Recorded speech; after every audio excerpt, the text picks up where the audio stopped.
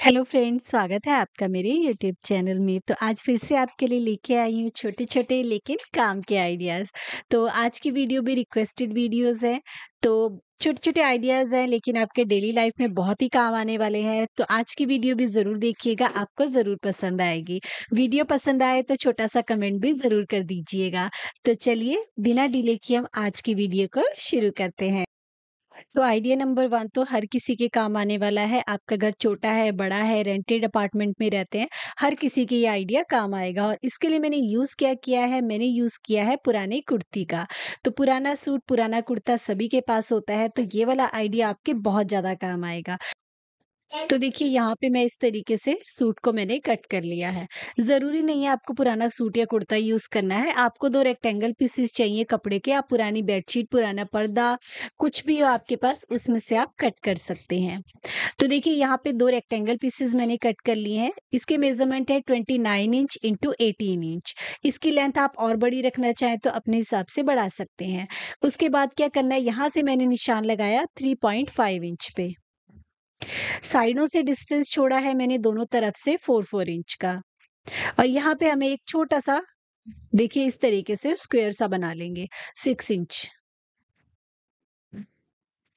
ये देखिए तो ये मैंने इस तरीके से ड्रॉ कर लिया। अब क्या करना है? अंदर की तरफ़ मार्जिन लेते हुए वन वन इंच का मार्जिन छोड़ना है, देखिए इस तरीके से। और यहाँ पे हम इसकी कटिंग करेंगे। कट हमें करना है, ये जो मैंने अंदर वाला निशान लगाया है, यहाँ पे। तो ये बीच वाला पोर्शन हम कट करके अलग कर लेंगे। तो पहले मैंने आपको एक बैग सिखाया था जो इससे कुछ सिमिलर था, लेकिन वो ना मैंने बिना जिप के बनाया था तो किसी ने रिक्वेस्ट किया था विद जिप के साथ बनाना सिखा दीजिए। तो साइडों से देखिए हमने इसे इस तरीके से कट कर लिया है। उसके बाद जस्ट आपको देखिए अंदर की तरफ़ को इसे फोल्ड कर लेना है और फोल्ड करते हुए चारों कॉर्नर्स पे इसके सिलाई लगा लेनी है। तो ये हमारा इजीली फिनिश हो जाएगा, देखिए। तो कोई पाइपिंग वगैरह लगाने की ज़रूरत नहीं है। जस्ट कट करके अंदर की तरफ़ को फोल्ड करके आप इसे फिनिश कर लीजिए। अब हम क्या करेंगे? नीचे की तरफ़ हम यहाँ पे जिप लगाएँगे। अगर आप जिप नहीं लगाना चाहते तो ये वाला स्टेप स्किप कर दीजिएगा। जिप लगाने के बाद पलटना है, उसके बाद बैठने वाली सिलाई लगानी है। तो ये हमारा जिप के साथ बन गया। अब हमें दूसरे वाला पीस लेना है। दोनों की सीधी तरफ़ देखिए, अंदर की तरफ़ रखनी है। ये दोनों सीधी तरफ़ है। अब जिप का दूसरा पीस भी हम अटैच कर लेते हैं, देखिए। यहाँ पे रखना है और पूरा लंबाई में आपको यहाँ पे, देखिए, सिलाई लगा लेनी है। नीचे जिप की तरफ़ देखिए, लंबाई में। सिलाई लगा ली, अब यहाँ पे भी आप बैठने वाली सिलाई लगा लीजिए। यहाँ ऊपर की तरफ़। तो देखिए, मैंने सिलाई लगा ली एक्स्ट्रा जिप को आप कट कर लीजिए। उसके बाद यहाँ पे हमें दो छोटी छोटी स्ट्रिप लगानी है ऊपर के लिए। ये मैंने लिया है eight inch into three inch और उसके बाद फोल्ड करना है। फोल्ड करते हुए दो हमें लूप बना लेनी है। इन लूप को हम यहाँ पे साइड में अटैच कर लेंगे। यहाँ से हमें डिस्टेंस लेना है, देखिए। 1.5 इंच का। तो मैं इसे लूप वाला और हैंगर वाला दो तरीकों से आपको बनाना सिखाने वाली हूँ। तो आप इसमें हैंगर लगा के, लूप लगा के दो तरीकों से इसे यूज़ कर सकते हैं। तो देखिए, यहाँ से मैंने इसमें यहाँ पे लूप को अटैच कर लिया है। एक लूप हमारा इस तरफ़ लगेगा और दूसरा लूप हमारा दूसरी तरफ़ लगेगा। इसे सिलाई से इसी तरीके से अटैच कर लीजिए। लूप हमारे अटैच हो गए हैं। अब आपको क्या करना है देखिए, इस वाले पीस को इसके ऊपर रखना है और यहाँ से तीनों तरफ़ आपको इस पे सिलाई लगा लेनी है। ये देखिए, इस तरीके से यहाँ से हम सिलाई लगाना शुरू करेंगे एक कॉर्नर से और सिलाई लगाते हुए देखिए पूरा यहाँ तक हम इस पे सिलाई लगा लेंगे। सिलाई लगाने के बाद जो हमने बीच में यहाँ से बनाया है, यहाँ से आप इस बैग को सीधा कर लीजिए। ये देखिए। तो नीचे की तरफ़ हमारी यहाँ पे जिप आ गई। अगर जिप नहीं लगाना चाहते तो जिप को स्किप करके सीधा सिलाई लगा लीजिए। ये देखिए, अब हमें क्या करना है? इसे ना मैं दो तरीकों से यूज़ करने वाला, बनाने वाली हूँ। तो यहाँ से ऊपर की तरफ़ से मैं थोड़ा सा इसे उधेड़ के ओपन कर लूँगी। यहाँ से मैं इसे हैंगर वाला और लूप वाला दो स्टाइल में बनाने वाली हूँ। तो थोड़ा सा मैंने उधेड़ लिया। अब बाकी के साइडों साइडों से देखिए, जो उधेड़ा है, उसे छोड़ दीजिए। और सिलाई से इसे पक्का कर लीजिए दोनों साइडों से। तो देखिए दोनों साइडों से सिलाई लगा ली, बीच में छोटा-सा होल आ गया यहाँ पे। तो ये हमारा ऑर्गेनाइज़र बिल्कुल रेडी हो चुका है। तो देखिए मैंने इसे हैंग कर लिया यहाँ पे बाथरूम में एज़ अ लॉन्ड्री बैग। आप इसे कहीं भी हैंग कर सकते हैं। दो ऑप्शंस हैं इसे यूज़ करने के लिए। एक तो जैसे मैंने अभी आपको हैंग करके दिखाया और अगर आपके घर में कभी एक ही कील होती है, वहाँ पे हैंग करना है तो इस तरीके से आपको हैंगर को इंसर्ट कर लेना है देखिए। अगर आप साइड वाले लूप से नहीं हैंग करना चाहते इससे, तो यहाँ से इसे देखिए इस तरीके से सिंगल हैंगर में आप होल्ड कर सकते हैं देखिए। तो ये दो ऑप्शंस में आप यूज़ कर सकते हैं या तो हैंगर के साथ यूज़ कर लीजिए और अगर हैंगर यूज़ नहीं करना चाहते इस तरीके से आपके घर में भी लगे हुए हैं कहीं पे इस तरीके से तो आप इस तरीके से लूप में भी डाल सकते हैं और जितने लॉन्ड्री के कपड़े हैं आपके आप वो सारे इसमें रख सकते हैं। तो इसे आप दरवाजे के पीछे, बाथरूम में, आपके वॉशिंग मशीन जहाँ आप वॉश करते हैं कपड़े, वहाँ कहीं जगह है वहाँ हैंग कर लीजिए और जितने भी वॉश करने वाले कपड़े हैं सारे इसमें डाल लीजिए। और जो हमने नीचे की तरफ़ ज़िप लगाई है ना, उससे कपड़ों को निकालना भी बहुत आसान है। देखिए जस्ट जब भी आपको वॉश करना है इस ज़िप को खोल लीजिए, सारे कपड़े आपके इस तरीके से टब या बकेट जो भी रखी है उसमें आ जाएँगे और आप ईज़िली देखिए इन्हें वॉश कर सकते हैं। तो ऊपर से इसमें जितने भी लॉन्ड्री वाले कपड़े हैं आपके धोने वाले कपड़े वो डालते रहिए और जब भी वॉश करना हो नीचे से ज़िप को खोलिए और सारे कपड़े बाहर निकाल लीजिए। तो ये लॉन्ड्री बैग बहुत ही काम का है। आई होप छोटा-सा आइडिया आपको पसंद आया होगा। आप इसे कहीं भी हैंग कर सकते हैं और कहीं भी हैंग करके इस लॉन्ड्री बैग को यूज़ कर सकते हैं। तो चलिए अब देखते हैं अपने नेक्स्ट आइडिया। तो नेक्स्ट आइडिया मैंने बचे हुए कुर्ते में से इस तरीके से स्लीव का बच गया था बाजू वाला, उसी में से मैं बता रही हूँ, आप किसी भी नए कपड़े में से भी बना सकते हैं। तो देखिए मैंने यहाँ से इसे इस तरीके से साइडों से कट कर लिया है। साइडों से कट करने के बाद ऊपर की तरफ़ से हमारा यहाँ से मैं इसे फिनिश कर लूँगी। तो जस्ट क्या करना है देखिए फ़ोल्ड करते हुए हमें इस पर पूरे पे सिलाई लगा लेनी है। तो ये हमारा फिनिश हो गया। अब हमें क्या करना है इसे साइडों से भी हम फिनिश कर लेंगे। ये देखिए। यहाँ से देखिए हम इसे पूरा फिनिश कर लेंगे। यहाँ सिलाई लगा ली, यहाँ सिलाई लगा ली और नीचे सिलाई लगा ली। तो हमारा ना एक थैला जैसा बन गया। उसके बाद एक डोरी ले ली 14.5 इंच की और उसे हम यहाँ पे देखिए लगा लेंगे। तो एक डोरी हमें यहाँ लगानी है, एक यहाँ। सिर्फ़ पिछले वाले पीस पे लगा रही हूँ मैं, ये देखिए। ये हमारा इस तरीके से ओपन ही रहेगा। तो ये हमारा ऑर्गेनाइज़र बन के रेडी हो चुका है। तो चलिए बताती हूँ इसका यूज़ क्या किया है मैंने। तो इसे मैं हैंग करने वाली हूँ। हमारे देखिए इस तरीके से कई बार अलमीरा, फ्रिज के पीछे बहुत ज़्यादा स्पेस होता है। वहाँ पे मैंने एक हुक लगा लिया है इस तरीके से एडहेंसिव हुक। ये आपको ऑनलाइन आराम से मिल जाते हैं। यहाँ पे मैंने इसे कर दिया हैंग। ये वाले जो हुक हैं ये अप्रॉक्सिमेट अ, 5 केजी तक का वज़न ले लेते हैं। उसी के हिसाब से ये हुक आपको अमेज़न पे मिल जाते हैं। तो यहाँ पे मैंने ये थैला हैंग कर दिया और इसमें मैंने रख दिया अम्ब्रेला देखिए। तो इस तरीके से अलग-अलग साइज़ के हमारे पास अम्ब्रेला होते हैं। उसका आप इस तरीके से बैग बना के ना उन्हें इस तरीके से पीछे एक ही जगह पे सारे हैंग कर दीजिए।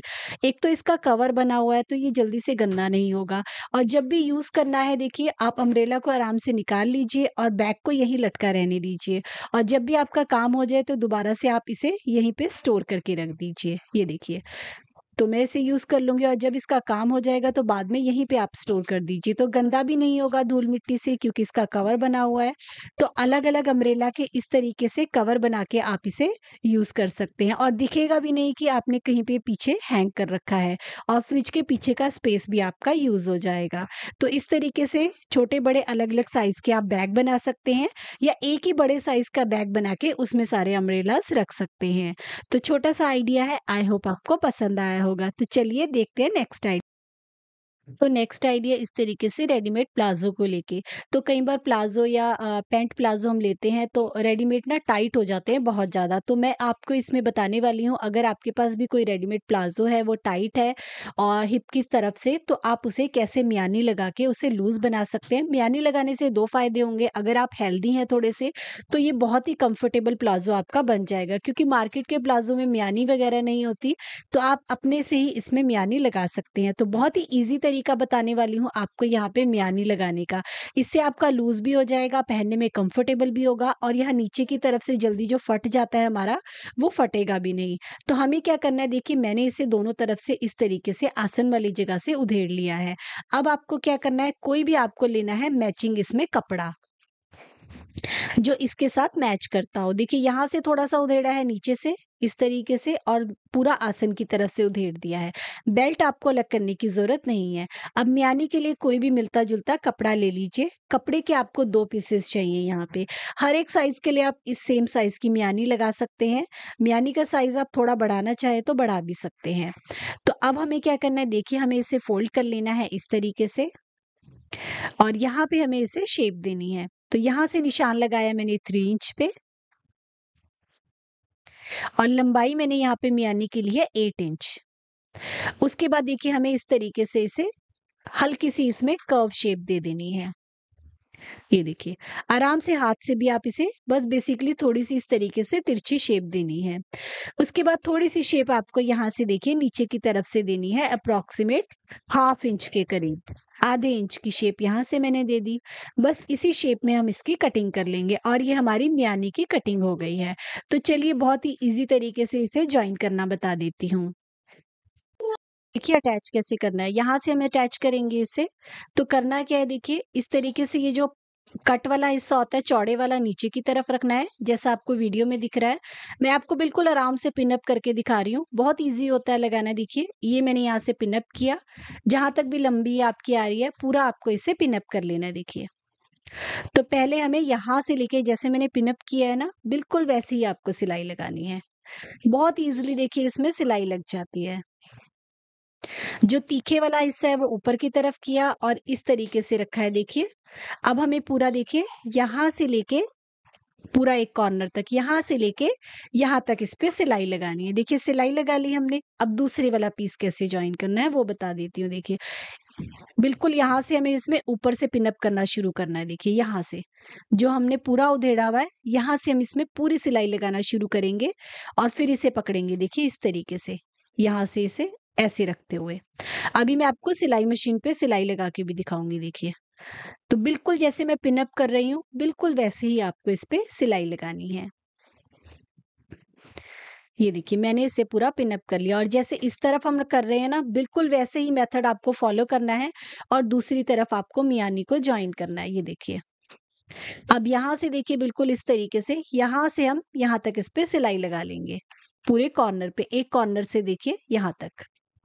तो देखिए, यहाँ से मैंने सिलाई लगाना शुरू किया, ऊपर की तरफ़ से। पिन को मैंने निकाल दिया और यहाँ से देखिए, आपको इस तरीके से इसे पहले सिलाई लगा लेनी है और उसके बाद ये मैंने इस तरीके से पूरा लंबाई में सिलाई लगा दी, ये देखिए। तो बहुत इजीली इसमें सिलाई लग जाती है, जब आप लगाएँगे तो बहुत इजी होगा देखिए लगाना।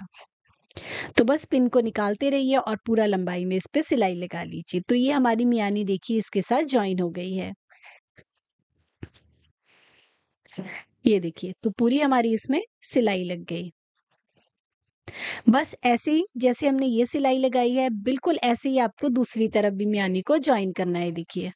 इससे बहुत अच्छा हमारा ये देखिए, लूज भी हो जाएगा अगर ये हिप से आपको टाइट है तो भी ये लूज हो जाएगा और आप बहुत इजीली अपने इस प्लाजो को डाल पाएँगे। दोनों तरफ़ मैंने मियानी लगा दी तो देखिए हमारा हिप की तरफ़ से ये काफ़ी अच्छा लूज हो चुका है। अब आप इस पे नीचे वाली सिलाई लगा लीजिए, यहाँ से लेके यहाँ तक, ये देखिए। पूरा हम इसमें सिलाई लगा लेंगे। तो देखिए मैंने सिलाई लगा ली और ये हमारा मियानी इसके साथ ज्वाइन हो चुकी है। तो अगर आपका भी कोई प्लाजो, पैंट प्लाजो पजामा कुछ भी लोअर वगैरह टाइट है तो आप इस तरीके से मियानी जोड़ के उसे सिल सकते हैं। और अगर नीचे की तरफ़ से कई बार फट जाता है, सिलाई नहीं लगती तो उसे भी आप इस तरीके से ठीक कर सकते हैं। तो ये थे कुछ छोटे छोटे आइडियाज़ जो मैंने आपके साथ शेयर किए। आई होप आपको आइडियाज़ पसंद आए होंगे। आइडियाज़ पसंद आए हैं तो प्लीज़ कमेंट ज़रूर कीजिएगा और जल्दी मिलते हैं नई वीडियो के साथ। Thank you.